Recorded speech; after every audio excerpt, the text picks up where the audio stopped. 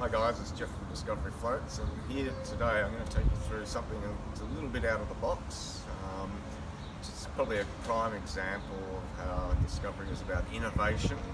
Um, this one came about through you know, a big collaboration between Discovery and the. Um, so essentially this is a 15 foot 6 which is usually where we start our three horse angles.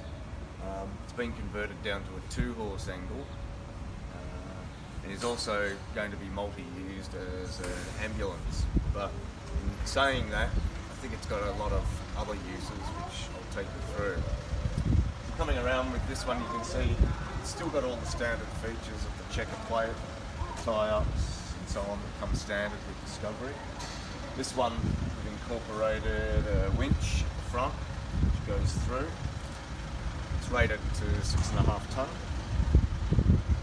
and here you can see on the main got this drop down tailgate on the driver's side um, which I think can have quite a lot of use in the fact that you know you might want to get motorbikes in there um, and still have room for two horse angles.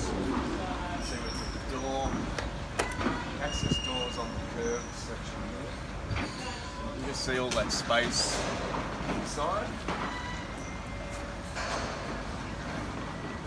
Um, got a big battery pack, obviously for the winch system. Um, but yeah, just look at all that space there. So there's no reason why we couldn't fit this out for motorbikes. Um, even put a kitchen in the front. You know, anything can be done really. It's just a great access ramp for the bikes. Going around the back, pretty much standard for us tailgate at the back here, two horse angle.